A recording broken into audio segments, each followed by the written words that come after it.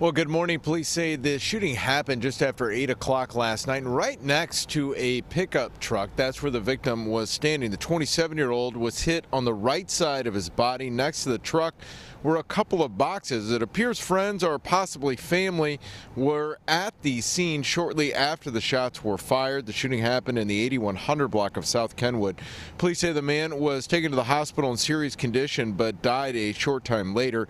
It appears from social media posts the victim was into riding horses, and in one post, a friend says, Rest on, cowboy, and the rodeo will never be the same without you. Now, police did not give out any description of a suspect that they are looking for, and they are still searching for that shooter.